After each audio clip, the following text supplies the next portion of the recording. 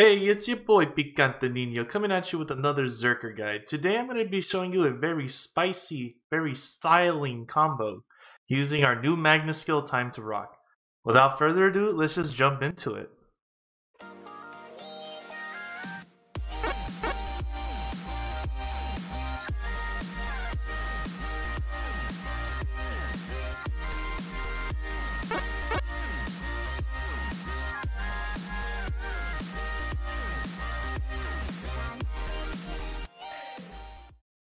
Okay, so this combo has been one of my favorite combos to use ever since Time to Rock has came out. I've been trying to include Time to Rock in all of my PvP combos ever since it's came out on Magnus.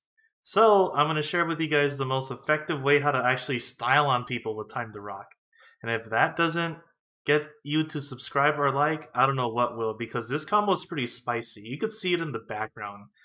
And with that, let's just start playing the stylish music, dude. Let's just get into it. Let's get into it.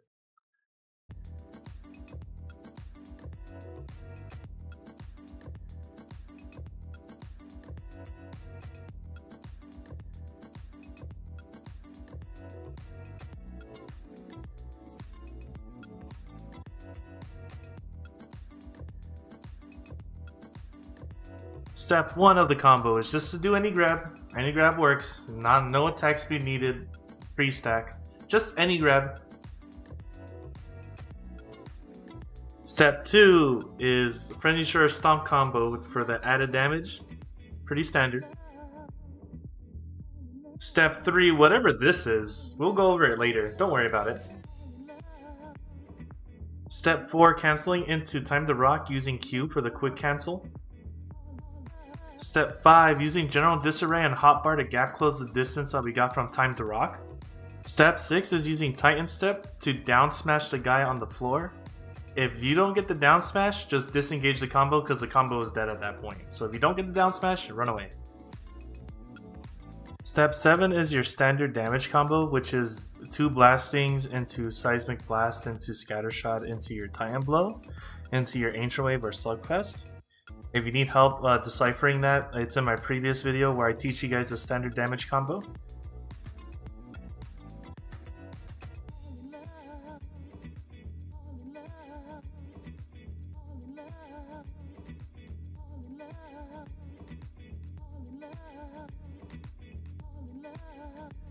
So let's go over step 3.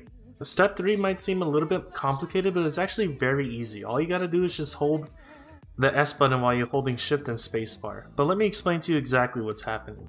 There are many things happening in this short little segment, so I'm going to play it at normal speed and I'm going to slow it down by a lot. So there are about, there are a couple of frame zero cancels that you don't see.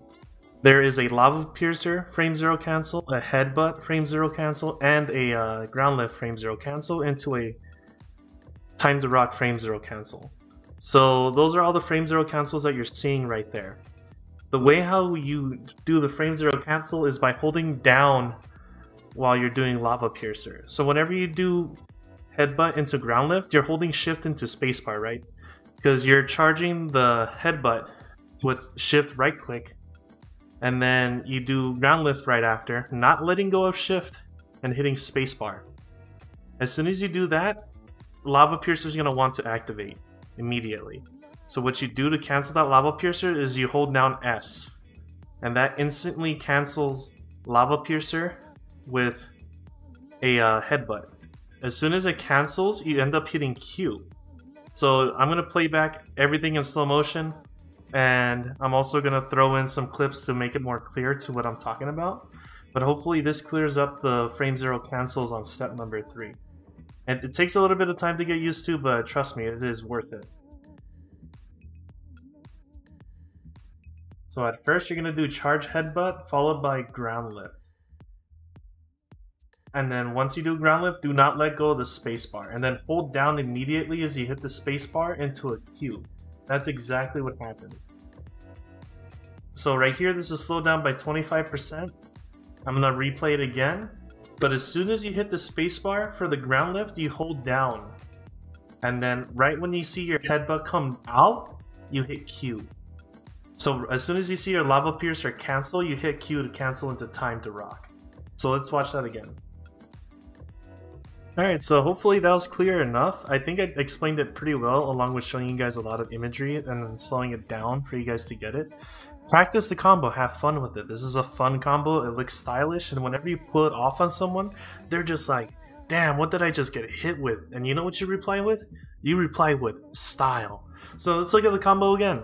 I just want to show you the combo. I pull this off all the time whenever I'm fighting in BA and it, it just feels like a very very rewarding combo whenever you land it and then down smash goes and they do an extra flop on the floor it just looks so cool but with that you guys like i really hope you guys took away something from this video Zerker isn't cookie cutter no more. You could actually experiment with it. Of course, it's not optimal, but you're having fun.